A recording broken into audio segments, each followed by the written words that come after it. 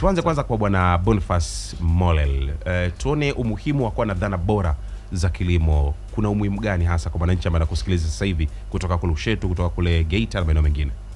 Asante sana ndugu mtangazaji. Um, ni muhimu sana kuwa na zana bora za kilimo na hasa niseme um, trekta na zana zake, kwa sababu kwa muda mrefu sana um, taifa letu limekuwa liki liki- li- likipiga uh, likijaribu kuwatoa wakulima kutoka um, katika jembe la mkono na kwenda kwenye matumizi ya matrekta makubwa, kwa sababu kwa ni kwa namna hiyo tu ambapo ambapo mkulima anaweza ku, ku, kuongeza tija Mm. lakini sio hivyo tu. Um, katika miaka hivi karibuni taifa limekuwa likihamasisha vijana kuingia katika kilimo kwa sababu um, kwa muda mrefu vijana wamekuwa wakiona kilimo kama ni cha wazee namna hivi au Na, na, na hii dhana bado inatutesa sana na- vijana. na- ama ama kilimo ni kwa ajili ya watu ambao hawajasoma. Lakini nafikiri ilikuwa hivyo kwa sababu kilimo kilikuwa kikifanywa na jembe la, la, la mkono ambayo inachukua muda mrefu na vijana wamekuwa wakiona kama wanasumbuka. Kwa hiyo ni muhimu sana kutoka upande huo na kuingia kwenye machinery ambazo zinarahisisha kazi hiyo ndio umuhimu mkubwa wa ku, wa ku, wa ku, wa kuelekea kwenye um, uh, kilimo cha matrekta makubwa. Matrekta makubwa. Mm. okay sasa uh, kuna wengine wa- huwa wana, wana, wana, wana, wanakaa wanajiuliza sana. Matrekta makubwa inaonekana pengine ni gharama kumiliki ndio maana pengine wakulima wadogo uh, ama hata vijana kuna vijana wanakuwa na dhana kwamba hatuwezi kufanya sisi kilimo. Sasa hivi kilimo kinaonekana ni gharama sana katika kukiendesha. Ni sahihi uh, ni sahihi kwamba ni kweli kwamba inaonekana kama uh, matrekta makubwa ni gharama, lakini sasa kwa kushirikiana na partners mbalimbali mm. kwa mfano kama wenzetu wa EFTA ambao tume, tumepatana nao kwa kupitia EFTA ni rahisi sana kumiliki uh, uh, trekta, lakini niseme niseme pia kwamba um, kama nilivyosema, pengine utanipa nafasi baadaye ya kuzungumzia mm. hilo katika semina ambayo tumeandaa. Tutawaelimisha pia wakulima kama tukisema trekta, hata trekta pia zina size tofauti yeah. na hizo size kuna uh, hizo size zina bei tofauti. Kwa kila mmoja ataingia, unasema wanasema unavaa un, unavaa koti kulingana na saizi yako. Saizi yake, Kwa hiyo kila mtu ataingia kwa saizi yake. Kwa- Kwa hiyo iko iko namna hiyo, na kwa- tukipata fursa baadaye ya kuelezea hiyo semina, basi tutawakaribisha wakulima ili waje tupate kuwafundisha saizi tofauti za matrekta za matrekta, lakini pia na namna tofauti mm. ya, ku, ya, ku, ya, ku, ya kumiliki trekta hilo. Sio lazima uwe na fedha zote zinazotosha yeah, yeah. uh, trekta ili uweze kumiliki. Kuna namna tofauti na rahisi ya kumiliki trekta. Sawa, na kuna wengine wanaweza wakawa wanajiuliza kwamba labda kuna aina fulani ya wakulima ambao mmewalenga kwa mazao fulani, ama ni wakulima wa aina zote? ni wakulima wa aina zote, ni wakulima wa mazao yote, um, wakulima wa mpunga, wakulima wa tumbaku, um, wakulima wa mahindi na wakulima wa aina zote, mradi tu ni mtu ambaye amejizatiti kuingia katika kilimo, basi tuna huyo ni mteja wetu. Okay, kuna, kuna mtu anajiuliza sasa hivi hapa uh, bwana bonfas Molel anajiuliza, tunapewa hii elimu, mbona tuko kama kwenye katikati ya, ya mavuno hivi? Kuna kwa namna ambavyo teknolojia inavyozidi kukua, kuna trekta ambazo zinatumika kwenye mavuno tu, huwa tunajaribu kuona kwenye mitandao huko, mashine kama hizo kubwa zipo vipi kwa upande wenu? Ziko, ziko vifaa viko vifaa mbalimbali. Unajua trekta um, ni kitu kimoja mm. lakini nyuma ya trekta zina trekta inavuta mashine mashine mbalimbali. mbali. Kuna mashine ya kuvuna, kuna mashine ya kupura, um, kuna mashine za kukausha, eh, kuna mashine mbalimbali. Kwa hiyo trekta inakuja na vifaa mbalimbali, na ndio maana na katika semina ambayo tumeandaa kesho tarehe mbili ambayo tutapata nafasi ya kuelezea baadaye vizuri. vizuri tumekuja pia na baadhi ya vifaa ambayo tutawaonesha wakulima namna namna inavyofanya kazi, kwa sababu um, semina yetu itakuwa na sehemu mbili. Itakuwa na sehemu ya darasani, lakini pia itakuwa na sehemu ya shamba darasa, kwenda Okay, kwenda kwenda shambani kuangalia namna ambavyo hivyo vifaa vinafanya kazi. Kwa hiyo pamoja na kuwa sasa hivi ni msimu wa kilimo um, lakini bado ni muhimu sana, ni msimu wa Mavuno.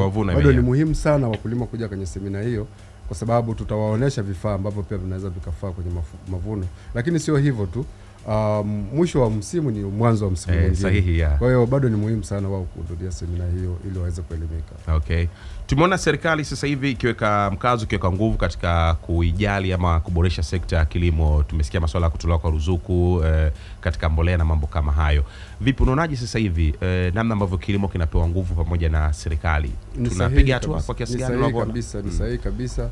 Kiukweli serikali ime, ime, ime, imenuia wanasema imepania um, kurahisisha kilimo ili ku, kuongeza uzalishaji wa chakula, na ndio maana sasa watu kama EFTA ambao ni partner wetu mkubwa naye amesikia kwamba amesajiliwa na benki kuu Eh, kwa ajili ya, ku, ya kwa ajili ya kutoa mashine mbalimbali na, na, na hasa mashine za kilimo.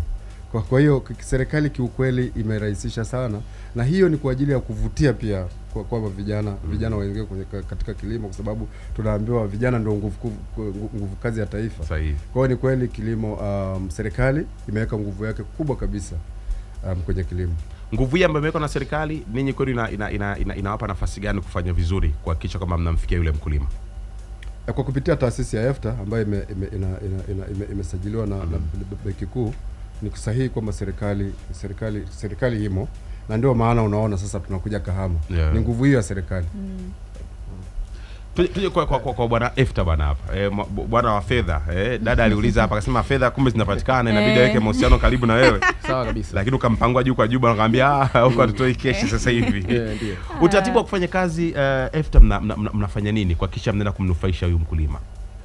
Uh, kwanza kabisa kama alivyotangulia kusema mwenzangu au ulivyokuwa unafafanua mwanzo kwamba sisi uh, sababu kubwa ya kufanya mafunzo haya Mm. ni kuiunga serikali mkono kwa hizi jitihada ambayo tumeona serikali inafanya kwa kiasi kubwa sana mm. kuna ile PPP ambayo ni public private partnership Mm. ambayo serikali inasisitiza ifanyike.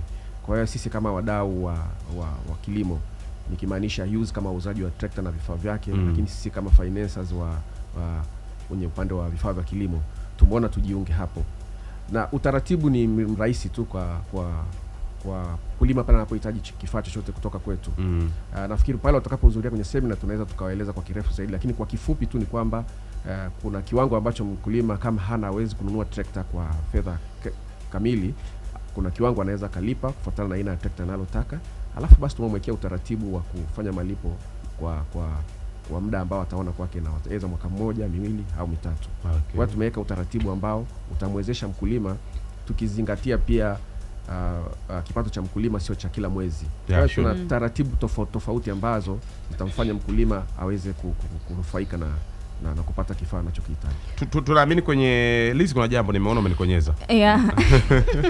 Jamani. Sawa, mwanzoni uli, ulisema kwamba katika utoaji wenu mna kunakuwa hakuna dhamana yoyote.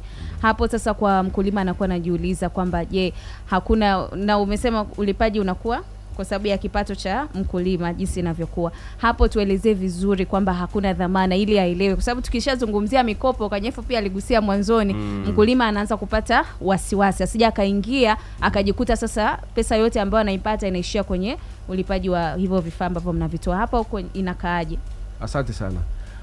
Aa, kama tulivyosema kwamba sisi hatuchukui dhamana yote kwa mkulima Mm. au kwa mtu yote ambaye anahitaji kifaa kutoka EFTA. Uh, kile kifaa tunachompa ndo kinakuwa ndio dhamana pekee.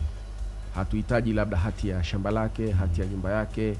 Uh, si tuna- tunakupa trekta uh, uh, itasajiliwa kwa jina lako na kwa jina letu, utabakia na kadi. Baada ya kumaliza mkopo wako, basi tutakabidhi ah, okay. tutakabidhi trekta lako. nafuatiliaje sasa Ah, Eh? unajua uzuri uzuri kilimo ni uh, uh, katika kilimo mkulima ambaye atafikia vigezo vya kukopesheka lazima ni mkulima ambaye ana makazi Mm. -hmm. tayari analima, tutaangalia historia yake e, na bila shaka pia anaweza akawa pia na na, na, na vitu vingine ambavyo kwa thamani ya trekta sio sio kwamba mtu anaweza akatoroka kwa sababu amepewa Mm. trekta. Kwa hiyo kuna kuna vigezo ambavyo tunaangalia na akitimiza vigezo, vigezo vile anapatiwa trekta na dhamani inakuwa ni hicho chombo tunachompatia. Ah, kwenye vigezo hapo saa manake najua sasa hivi mkulima anajiuliza eh, eh, hakuna dhamana yoyote hapa na nini, lakini kumbe kuna vigezo.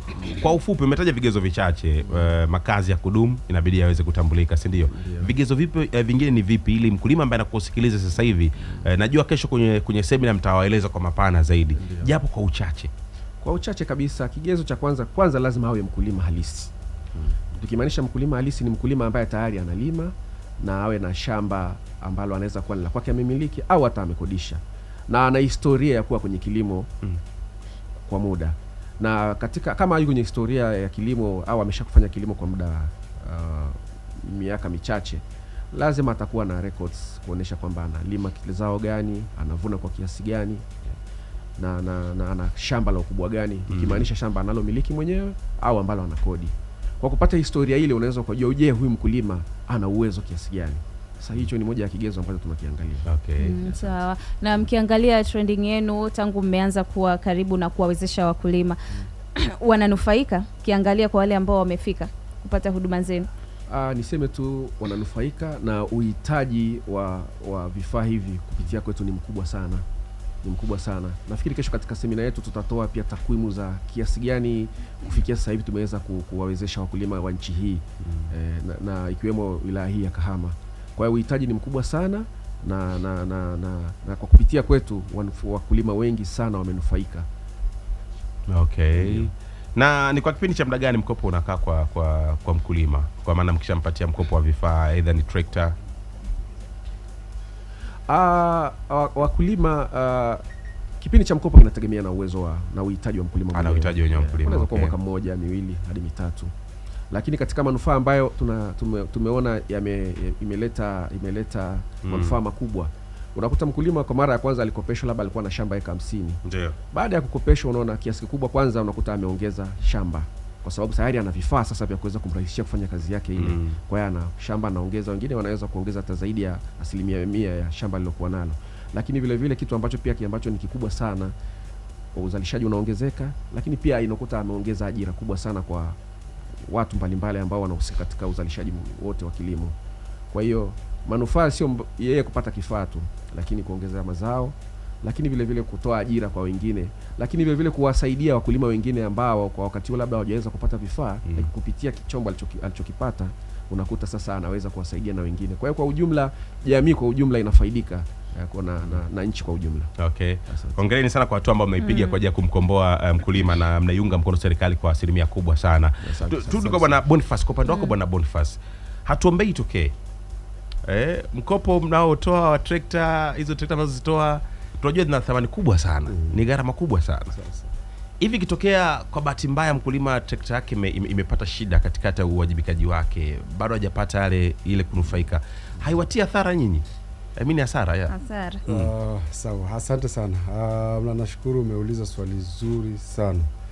Um, kwa kila mashine tunayouza Mm. tunatoa warrant ama wengine wanaita garantii mm. tunatoa garanti ya mwaka mmoja. Okay.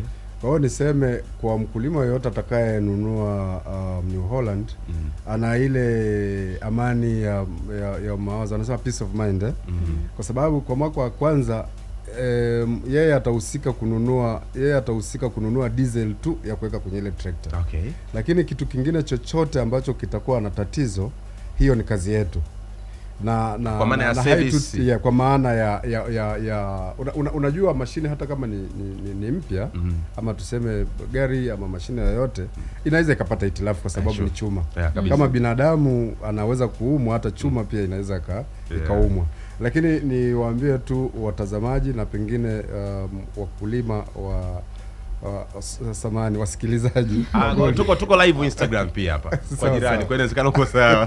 Ah. wasikilizaji wa Eh, Gold FM na hasa wakulima wa Kahama Mm. aki- niwaambia kwamba akinunua trekta ya New Holland kwa kupitia kampuni yetu mwaka wa kwanza yuko kwenye guarantee kwamba hafa, yeye ikitokea tatizo lolote hiyo ni sisi tunatengeneza. Na kwa nini tunatengeneza ni kwa sababu matrekta ya New Holland tunachukua kwa niseme manufacturer ambaye pia anaamini chombo chake Okay. kwa hiyo yule yule manufacturer ndio anayetoa ile gharama ya matengenezo ikitokea mm. naona eh?